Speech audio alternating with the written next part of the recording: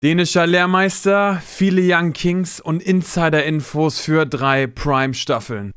Ich bin Kessem, euer Liga-Insider und heute checken wir mal, wie viel Hype noch in Mainz 05 steckt. Let's go! Jede Woche, jede Nacht, wir geben niemals nach. FSV Mainz 05, wir bleiben stark.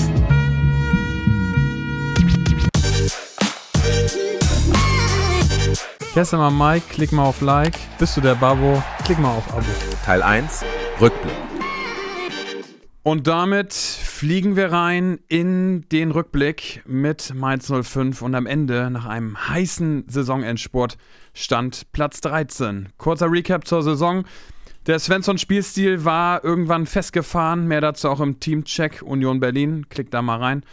Bo übergab an Jan Sievert, fünf Tore in elf Spielen, guten Start gehabt, 2-0 gegen Leipzig, danach ging nicht mehr viel. Und dann kam Bo Henriksen und der setzte auf Teamwork. Das war die Basis für sein Ultra-Pressing-Modell.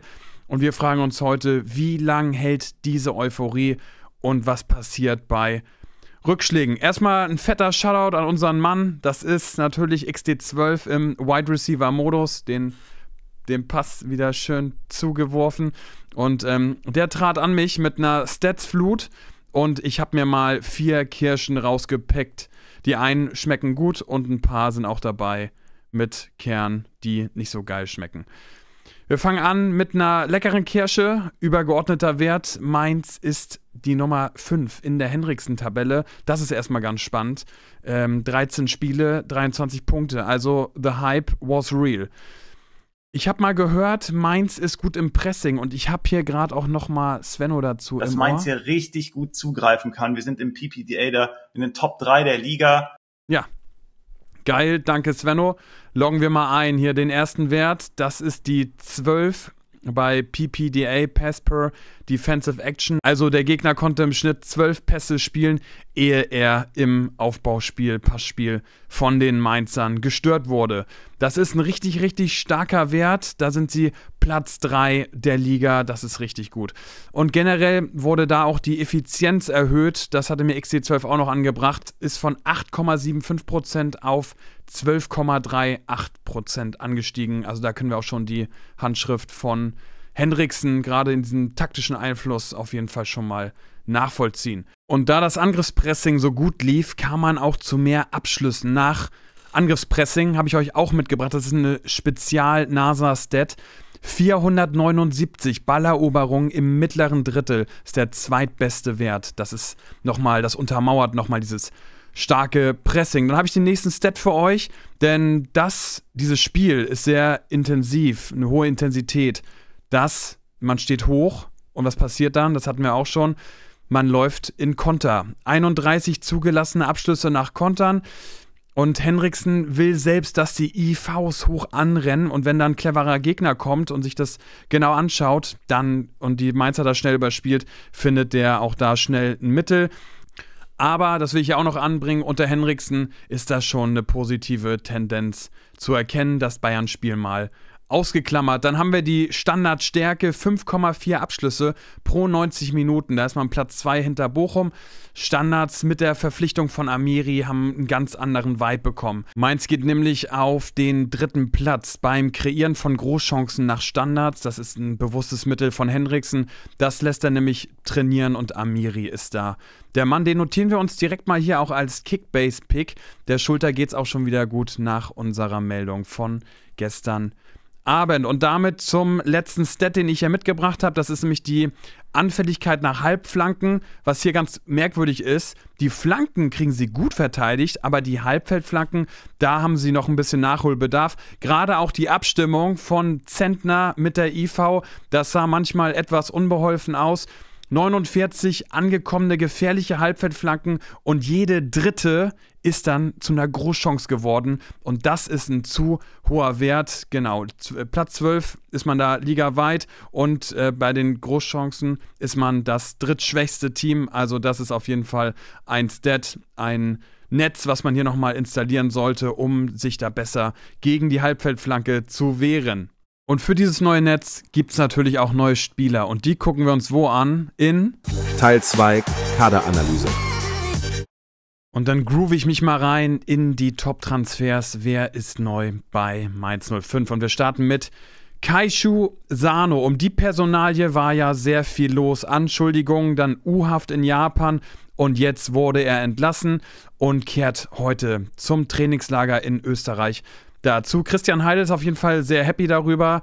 Und ähm, das ist zu, zu, entnehmen aus dem gestrigen Artikel in der Allgemeinen Zeitung. Er soll der Barrero-Ersatz werden, ist ein unermüdlicher Arbeiter, einer der besten Mittelfeldspieler aus der J-League, was Tackles, Interceptions und allgemeine defensive Aktion angeht. Und er verfügt über eine sehr, sehr gute Passquote, dort auch über 90 Prozent, kann Räume schaffen für den Gegner über seine Progressivität und seine Schnelligkeit. Das ist auch sehr gut.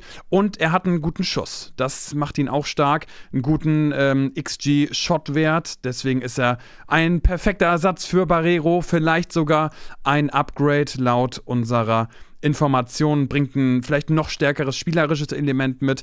Hat aber auch, müssen wir auch anbringen, natürlich jetzt den Trainingsrückstand und deswegen wird er jetzt langsam ans Team herangeführt. Der nächste Mann, das ist Paul Nebel und er ist kein richtiger Neuzugang. Er kommt jetzt nach zwei Jahren Laie vom KSC zurück und hat sich dort enorm entwickelt. Er ist sehr flexibel, kann auf beiden Halbpositionen spielen, er kann aber auch als Zehner agieren, als Sechser und als Achter, also komplett polyvalent. Das bringt er hier alles mit. Mit einem Blick auf seine Werte ist er ein sehr kreativer Spieler. Wir haben die erfolgreichen Dribblings, das sind über 57 Prozent.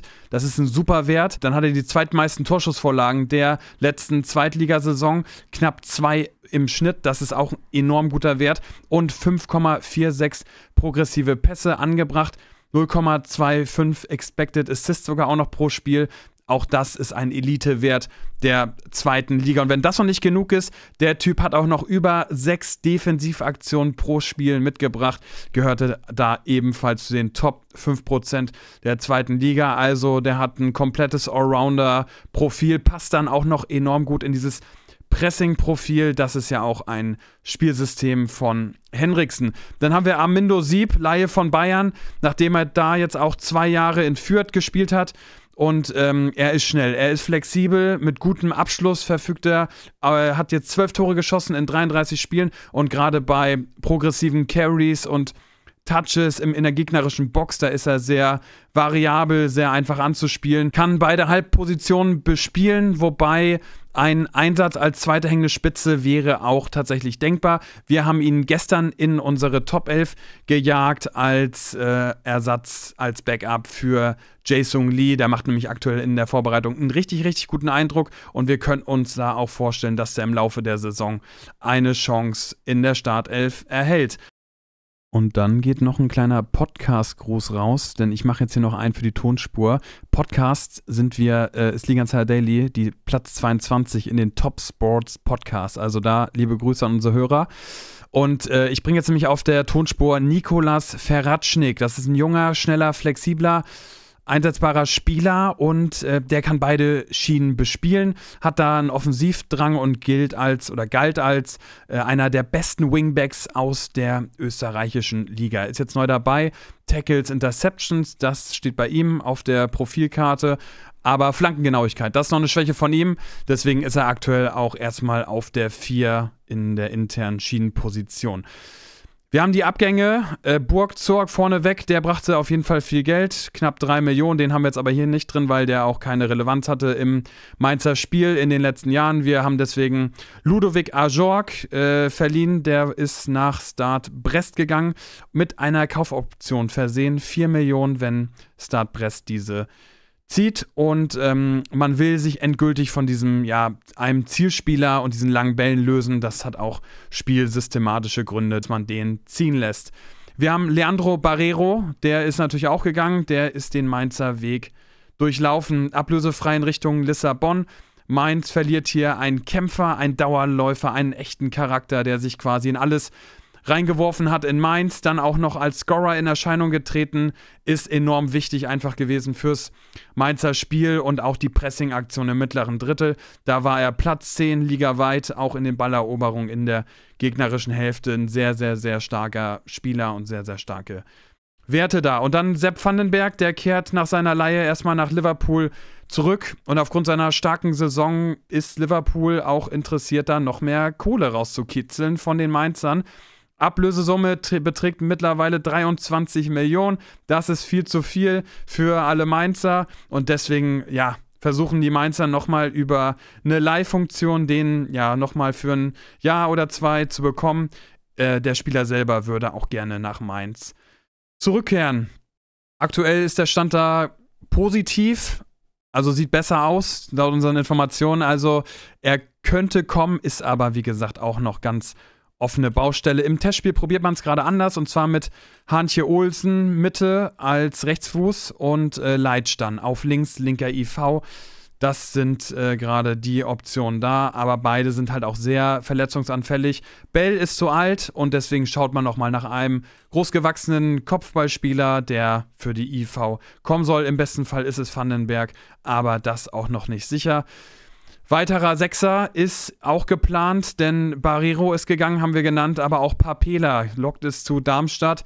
Und hier wäre auch noch möglich, dass ein weiterer Sechser die Kaderbreite noch beflügelt. Und dann gibt es natürlich immer noch Gerüchte um Brian Gruder. Das ist natürlich das Mainzer Juwel. Und äh, ja, die Mainzer sagen, man lässt ihn bei einem unmoralischen Angebot ziehen. Aktuell ist das nicht der Fall. Also hier sind eigentlich die Zeichen auf Brian Gruder bleibt. Und ja, mir wurde heute wieder, heute Morgen der Schlüssel, den habe ich mir abgeholt für den Talentschuppen. Und den schließe ich mal auf. Welcher junger Spieler kann denn hier die Saison überraschen? Müssen da auch nochmal natürlich Pau Nebel und Amindo Sieb nennen, die 21 sind. Brian Gruder ist 20, also der Talentschuppen in Mainz, der, der blüht gerade richtig auf. Und dann gibt es auch noch ein paar Deep Picks. Und das ist einmal Maxim Dahl, das ist ein U17 Welt- und Europameister, deutscher U19-Meister mit Mainz und Teil der legendären Youth League Saison. Er gilt als eines der größten Mainzer Talente der letzten Jahre. Seine Stärken hat er gegen den Ball und zwar gewonnene Defensivduelle, generell defensive Zweikampfaktion, das ist sein Terrain, aber auch die Kopfballduelle, auch da ist er stark in der Luft. Dann hat er aber auch noch viele Qualitäten mit dem Ball. Das ist auch sehr schön. Progressive Carries haben wir da, lange Bälle und auch die Geschwindigkeit mit dem Ball. Und da das ja aktuell noch eine offene Stelle ist mit dem Innenverteidiger, könnte auch er früher oder später, wir vermuten eher später, auch mal zum Zuge kommen. Und dann haben wir das ewige Talent Nelson Viper. Der Boy ist 19 und den muss man hier natürlich nennen. Der hat bisher aber noch nicht die Entwicklung genommen, wie sich das die alle Mainzer eigentlich hoffen. Wir haben jetzt den Abgang von Ajorg und vielleicht knipst der die Tür auf für den jungen Nelson und ähm, er wird hoffentlich dazu auch dann mehr Spielzeit sehen, hat ein super großes Potenzial und eigentlich wartet man hier auch nur auf den Breakout. Es ist der sogenannte Mainzer Weg. Junge Spieler ausbilden, zum Profi machen und dann teuer verkaufen. Nicht umsonst hat Mainz eines der besten NLZs in Deutschland. Sie haben die, die starke Youth League Season gespielt und die A-Jugendmeisterschaft 22-23 geholt. Also viele der Spieler auch aus der Mannschaft sind jetzt gerade im U23-Kader und können langfristig auch in den Profibereich wechseln. Das ist richtig schön zu sehen. Und damit wechseln wir auch weiter und zwar mal mit Teil 3 Trainer und Vorbereitung. Und damit kommen wir zu Bo Henriksen. Er steht für Motivation, Glauben und Attacking Football, wie er selber sagt. Power, Vertikalität, direktes Spiel nach vorne. Hinten steht die stabile Defense und die soll auch schon hoch anlaufen und den Gegner früh stören. Das ist eine Komponente aus seinem Spiel.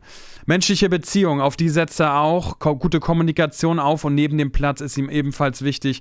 Das ist ein gutes Rezept für Bo und seinen Zusammenhalt mit den Spielern. Gespielt wird im 3-4-2-1. Die Schienenspieler machen das Spiel sehr breit und ähm, er der Stratege. Das ist Nadim Amiri. Er lenkt das Spiel und das ist vor allen Dingen über rechts sehr oft passiert. Gerade da über Gruda und Kassi. Kassi überläuft macht dadurch die Räume frei, in die Gruda dann reingehen kann und der ist dann offen quasi mit dem Ball kann dann inwärts als Flügelspieler reinziehen, kann einen Vorlagenpass spielen oder kann auch selber den Abschluss suchen. Da ist aber auch noch die Möglichkeit, dass Cassie den Ball wieder bekommt. Cassie ist dann für die Flanke auf jeden Fall angesehen und äh, die Flanke kommt eher flach, weil dann doch Johnny Burkhardt nicht über die Körpergröße eines super Kopfballspielers verfügt. Flache Flanken sind ein gutes, ausgemachtes Rezept, gerne auch in den Rückraum. Das hat auch gut funktioniert, gerade auch wenn man das Spiel sich gegen Dortmund nochmal anschaut aus der Rückrunde. Gegen den Ball ist man äh, engmaschig. 5-4-1, ganz eng. Keine Räume für den Gegner ist das Stichwort. Und ähm, hat da auch eine Art Fangnetz, äh, gerade im Mittelfeld schon arrangiert, äh, in das dann halt der Ball möglichst fliegen soll. Genau, den Gegner möglichst schnell äh, pressen und dann den Ballgewinn einfordern. Kurzer Testspiel-Check gibt es auch noch von mir. Was sind hier die Learnings? Die Alternative zum 3-4-2-1, die haben sie probiert im Test gegen Preußen Münster. Da sind sie mal auf ein 3-5-2 ausgewichen. Im Prinzip war dabei eigentlich aber alles gleich. Äh, Lee und Nebel auf der linken Halbposition haben sich da abgewechselt. Äh, ein bisschen tiefer auch ins Mittelfeld mal fallen lassen, während Sieb dann aber vorne in die zweite Sturmspitze neben Burkhardt mal gestochen ist. Nebel und Sieb bisher machen super Eindruck, sind für mich auch die Gewinner der Vorbereitung. Sieb haben wir hier auch mal mit einem Bild abgedeckt und ähm, Verlierer ist aktuell Marco Richter.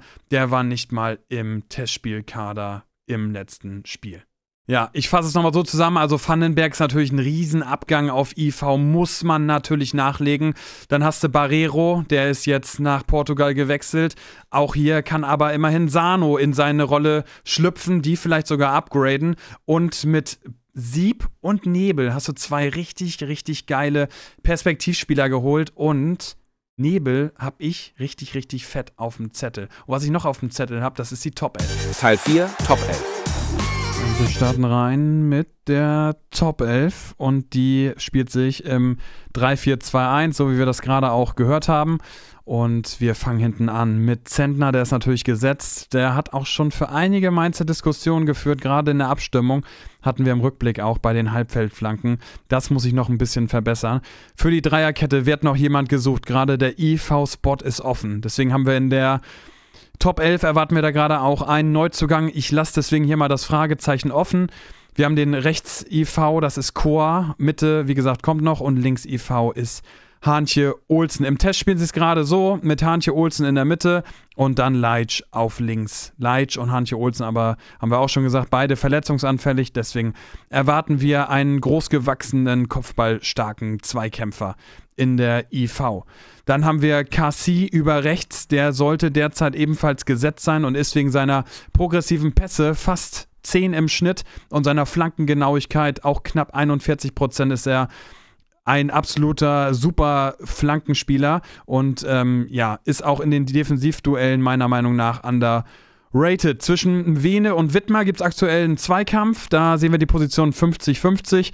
Und ähm, Ferratschnik ist aktuell der Mann Nummer 4. Wir haben zum aktuellen Zeitpunkt da Vene vorne über links, deswegen Cassie über rechts.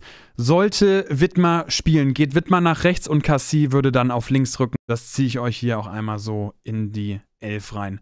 Vene würde dann rausrücken, wie gesagt, und äh, ja, Amiri ist gesetzt, das ist die Position neben ihm, die ist noch offen. Sano sehen wir da auf jeden Fall langfristig als safen Spieler. Aktuell ist er vielleicht so bei 70%, Kraus 30%.